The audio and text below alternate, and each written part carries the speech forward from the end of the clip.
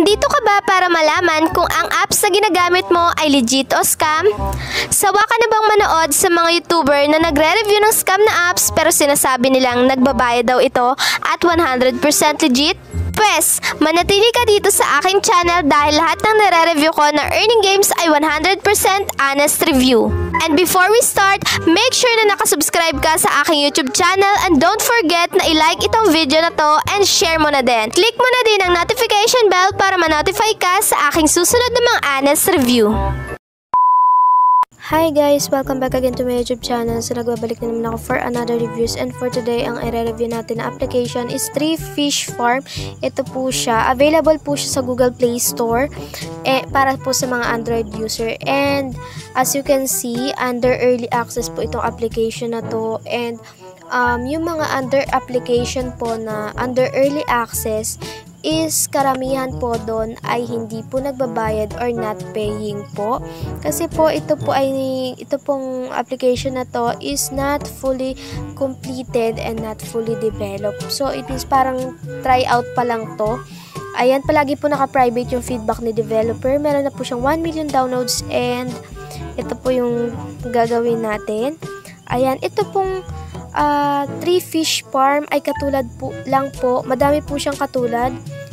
Ayan, search natin yung Lucky Money Tree, tsaka Shake Money Tree. Ayan, Lucky Money Tree, may mga ganyan po. Ayan, yan pong mga yan, na-review ko na po yan. And yung iba po dyan ay trinay kong ma-reach yung minimum withdrawal and wala pong dumating sa akin. Mga 3 weeks na po, wala pa rin pong dumadating sa PayPal ko. So ayun guys, i-review na natin tong 3 fish farm. Pumunta na tayo dito sa application.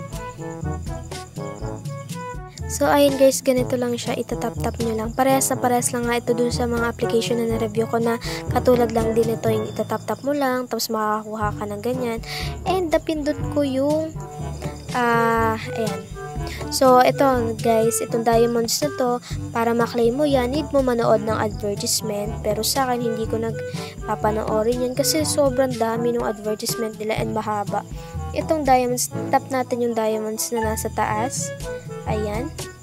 And ito, hindi sila mapindot-pindot. So, ayan. Fish shop. Meron din dito fish shop. And wala pong lumalabas na mode of payment. Ayan, ito hindi natin maklik or hindi talaga po siya nakiklik. So, ayun guys, kung may lumabas man po na mode of payment sa inyo, is ito pong application na to, under early access po ito, not paying po ito, lalo na po kung ang uh, minimum withdrawal po nito is $100 pataas, $200. Scam po itong application na to. Huwag nyo na pong pag-aaksayahan ng oras. So, ayun guys, dito ko na tinatapos tong video na to. And kung nagustuhan nyo tong video na to, huwag nyo kalimutan mag-subscribe, like this video, share, and hit the notification bell para ma-notify kayo sa susunod ko pa mga video.